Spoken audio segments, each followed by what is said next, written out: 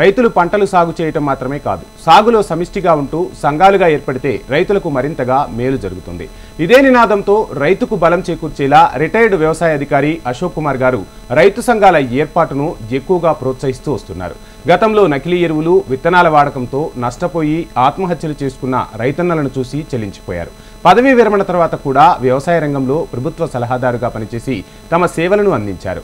నిరంతరం రైతులకు అవగాహన సౌకర్యాలు కల్పించే దిశగా రైతుల కోసం పనిచేస్తూ జగిత్యాల జిల్లా లక్ష్మీపూర్ గ్రామ రైతుల ఐక్యమత్యాన్ని పెంచి సహకార సంఘ ఏర్పాటుకు ప్రోత్సహించ ప్రోత్సహించారు. ప్రస్తుతం రెండు తెలుగు రాష్ట్రాలకు ఆదర్శంగా నిలిచేలా లక్ష్మీపూర్ గ్రామ రైతుల సహకార సంఘాన్ని మలిచారు. మరి ఈ రైతు సంఘాల ఏర్పాటుతో రైతులకు కలిగే ప్రయోజనాలేంటి?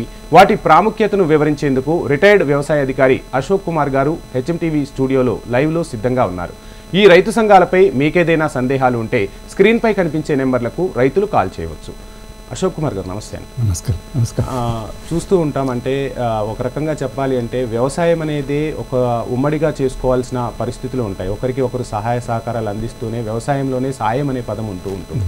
సో ఈ రైతు సంఘాల ఏర్పాటు అనేది ఎందుకు మీరు ఎంచుకున్నారు? దీని ద్వారా వచ్చిన ఫలితాలు ఏంటి?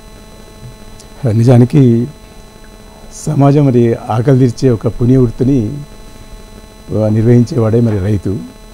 మరి ఈ వ్యవసాయ రంగం లోపల ఆ వృత్తి నిర్వహించడం ఎన్నో కష్టాలు నష్టాలు రైతుకుండా కూడా అటువంటి కార్యక్రమాలు చేస్తున్నాడు.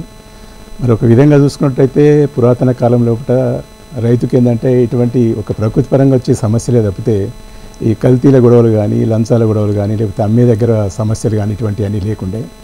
మరి ఇప్పుడు ఏంటంటే ఇటువంటి అన్ని సమస్యలు కూడా వస్తున్నాయి కనుక సమస్యలు సృష్టించే వాళ్ళందరికీ కూడా సంఘాలు ఉన్నాయి అందుకొరకు మరి రైతు పరంగా వస్తే సంఘాలు లేవు. ఏదో పార్టీల పరంగా ఉన్నాయి తప్పితే రైతుల పరంగా లేవు. మరి దాని కొరకు తప్పనిసరిగా రైతులు సమిష్టిగా ఒక సంఘంగా మరి ఏర్పడాల్సిన అవసరం చాలా ఉన్నది. మరి ఆ రూపంగానే మరి ఇక్కడ గ్రామాల్లో సంఘాలు ఏర్పాటు చేయడం జరిగింది. అశోక్ కుమార్ గారు రైతు సంఘాల ఏర్పాటులో మీరు కీలక పాత్ర పోషించారు. అసలు ఈ సంఘాల ఏర్పాటు వల్ల కలిగే ప్రయోజనాలు ఏంటి? సంఘంలో ఎంతమంది సభ్యుల వరకు ఉండే అవకాశాలు ఉంటాయి? మేము మొదట్లో మేము అక్కడ జైత్యాల ప్రాంతంలో పంతొమ్మిది వందల తొంభై తొమ్మిది ప్రాంతంలో అప్పుడు ఆ మధ్య నాలుగైదు సంవత్సరాలు అక్కడ పనిచేయడం జరిగింది ఆ ఏరియాల పట అప్పుడు ఏంటంటే ఇటువంటి సమస్యలు అవన్నీ చూసిన తర్వాత బయట మాత్రం వ్యవహారాలు ఇవన్నీ చూసిన తర్వాత రైతుల మధ్యలో ఒక ఐక్యమత్య తీసుకురావాలని సమస్యతో మేము ఏం చేద్దంటే ప్రతి గ్రామానికి ఆ, ఒక టైము డేట్ పెట్టాము.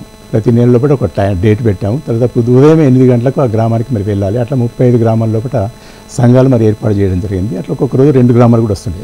ఖచ్చితంగా కొద్దిగా మంచిగా సేవాభావం కలిగిన యువకులు క్రమశిక్షణ అటువంటి వాళ్ళందరినీ కూర్చుండబెట్టి ఒక క్రమశిక్షణ చేసి ఆలోచన వాళ్ళ రూపంలో మరి పెంచే విధంగా ఆ కార్యక్రమాన్ని మరి చేయడం జరిగింది. ఇక తెలుగు రాష్ట్రాల్లో లక్ష్మీపూర్ సహకార సంఘం రైతులకు ఆదర్శంగా నిలుస్తుంది. దీని వెనకాల ఉన్న కృషి ఏంటి? అసలు ఎంత సమయం పట్టింది? ఇప్పుడు లక్ష్మీపూర్ సహకార సంఘంలో ఎంతమంది సభ్యులు ఉన్నారు వారు ఎటువంటి ప్రయోజనాలు పొందుతున్నారు? ఇప్పుడు నేను ఇదివరకే చెప్పినట్టు జైత్యాల మండలం మొత్తం ప్రతి గ్రామంలో కూడా సంఘాలు ఏర్పాటు జరిగింది. అప్పుడే ఈ లక్ష్మింపులు కూడా మొదలు పెట్టాము రైతు మిత్ర సంఘం అని. దాని తర్వాత మళ్ళీ నేను రిటైర్ అయిన తర్వాత కూడా రెండు వేల పదిహేడు సంవత్సరంలో కూడా అక్కడ గ్రామానికి వెళ్ళినప్పుడు కొన్ని సమస్యలు చెప్పారు. ఏదో వ- వరి అమ్మకాల సమస్యలు రకరకాల సమస్యలు చెప్పిన తర్వాత అంటే మళ్ళీ మీరు ఒక సహకార సంఘంగా ఏర్పడితే బాగుంటుంది కదా అని ఫస్ట్ ఒక కార్యక్రమం అది.